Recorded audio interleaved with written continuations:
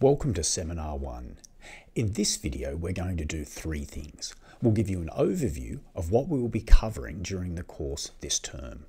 We'll talk about the two databases that we'll be focusing on using in the course. And finally, we'll talk about the company that we're using as our ongoing case study during the term. It's Kathmandu, who are an outdoor clothing and equipment retailer. First, what will we cover in the course? Business analysis and valuation focuses on the analysis of financial information found primarily, but not exclusively, in the financial reports of firms.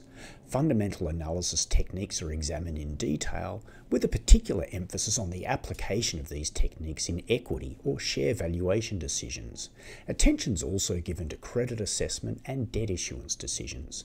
The techniques are applied in cases and projects involving listed companies. There's a specific focus on data analytics throughout the course. The course takes a structured approach to our analytical tasks. We systematically go through four key analytical steps. The order of these is important. We begin with business strategy analysis. In short, we ask how does the business make money and what are the prospects for it making money in the future? This step covers both industry analysis and how a firm positions itself within the industry. This first step will give us a sense of what we expect to see when we look at the numbers. You'll see this illustrated in the first additional reading posted from Fortune magazine. The financial statements, or a company's key ratios that we calculate from the financial statements, won't make sense without having the context of the conditions in which the business operates. We ask these sorts of questions. Are sales seasonal or cyclical? What drives the demand for the product or services? Is the business capital intensive or people intensive? Are the assets of the business long term or do they get replaced regularly? Is the business attractive to lenders who would provide debt financing? All of these questions lead to our second analytical step, accounting analysis. Our key question here is examining the extent to which the financial statements do a good or a bad job of reflecting the underlying business economics. This is a function of how well the accounting rules allow a business to reflect its performance, and the extent to which the rules provide managers with discretion in their accounting decisions. Once we have an understanding of how the business makes money and the extent to which that is reflected in the financial statements, we commence our financial analysis. This is our third analytical step and involves the systematic assessment of recent financial performance. We typically start with an overall message of performance like return on equity. Our final analytical task is prospective analysis.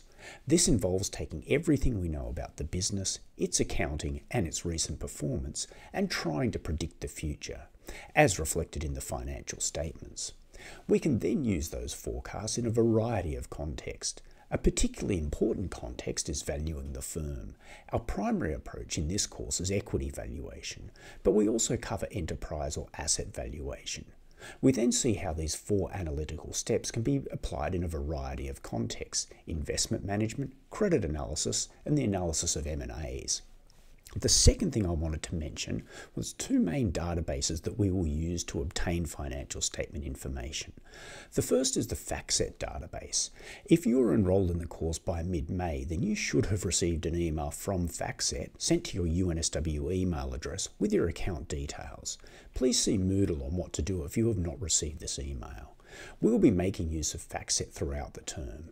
It provides a lot of information about listed companies. The other database we will use is Morningstar's DatAnalysis Database.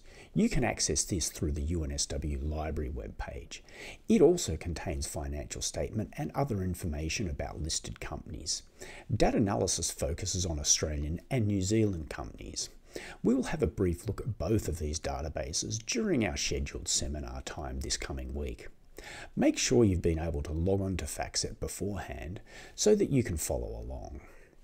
Finally, we will be looking at one company in detail throughout the term as we progress through our analytical steps. This term we're using Kathmandu. They're an outdoor clothing and equipment retailer. They've recently bought into Oboz, a US based footwear company, and in 2019 bought the surfwear company Rip Curl. It's obviously an interesting time for retailers, so we'll be thinking carefully about industry conditions and the implications that they have on Kathmandu's accounting and particularly our forecast for Kathmandu's future performance. If you're able to visit a shopping mall, see if you can find a Kathmandu store. Have a look at what they sell and have a look at the way they sell it. Are things heavily marked down at the moment? Have a look at their website. One of the things that we'll be considering is the shift between sales from physical stores to online sales. We'll keep track of Kathmandu information in a dedicated section on the course Moodle page. As we progressively analyse Kathmandu, you should be able to apply the same lens to the company that you're examining for the major project. Once you've finished going through the materials for this week, please let us know what part of the weekly content you'd like us to focus on most during the seminar session. You can do this in the survey we have linked just below this video. We're looking forward to seeing you online or in person soon.